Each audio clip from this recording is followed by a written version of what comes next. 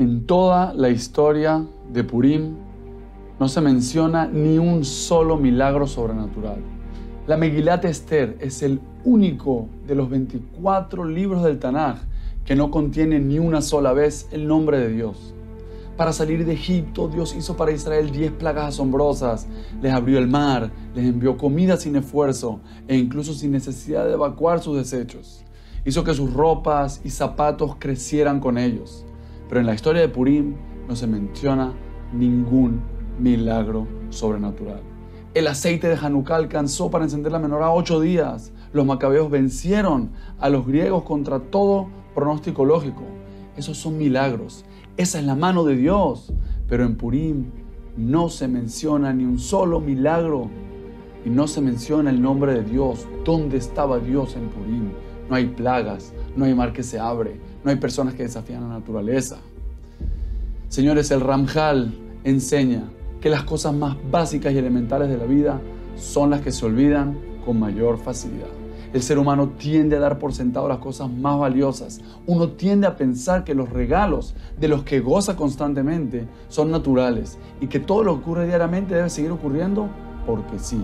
Pues déjame decirte algo. Esa es la naturaleza humana, dar las cosas por sentado. Y solamente si uno toma la decisión de cambiar su visión, es que puede empezar a ver todo como un milagro.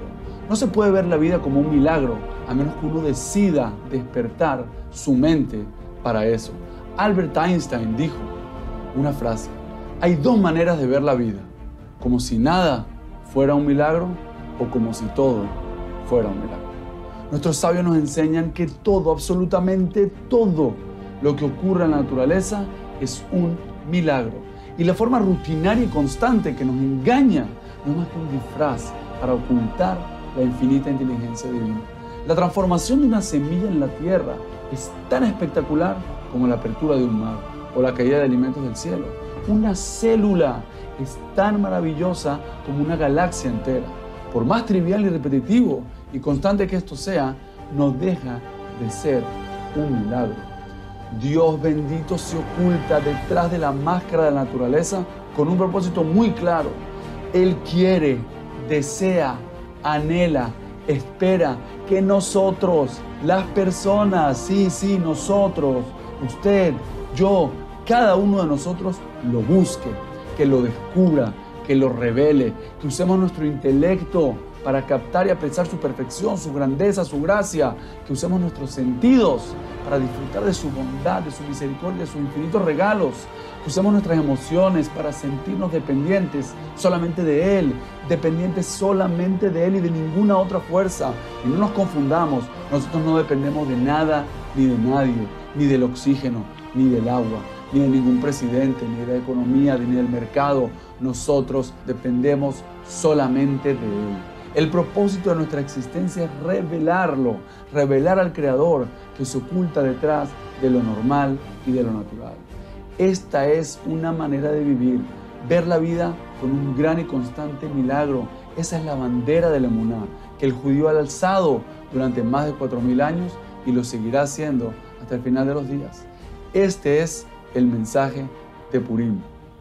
Esa historia representa el telón de la vida, de la naturaleza, de las casualidades, de lo normal, de la suerte, que no son más que un telón, una máscara.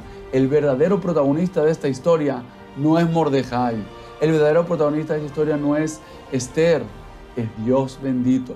Pero no se menciona para recordarnos que todo lo que nos parece natural es realmente un milagro.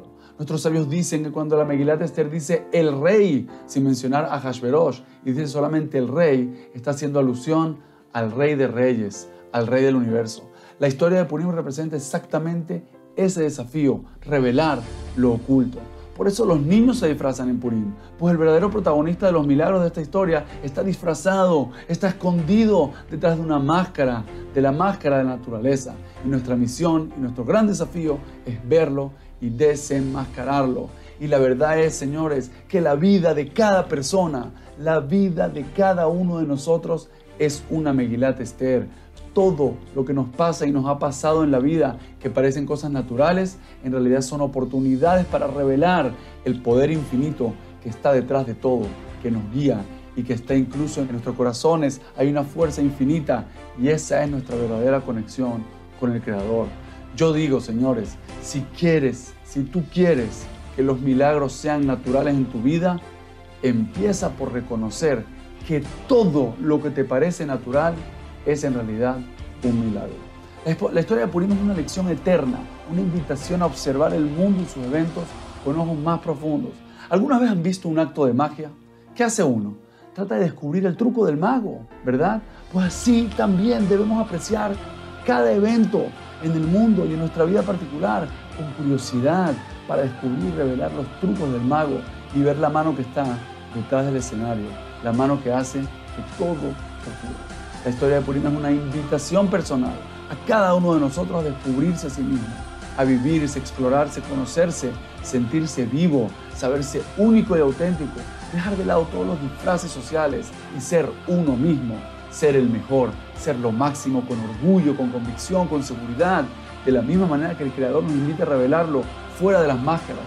Asimismo, cada persona puede salir, puede salir de las máscaras y vivir con honestidad, con integridad, con transparencia y con verdadera humildad. Este es el mensaje de Purim.